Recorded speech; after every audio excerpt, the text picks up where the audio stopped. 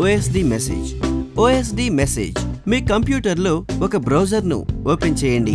OIC సైట్ను తెరవండి. అంటే BIZ dot city cable dot com మీ యూజర్ ఐడి మరియు పాస్వర్డ్ ఎంటర్ చేయండి.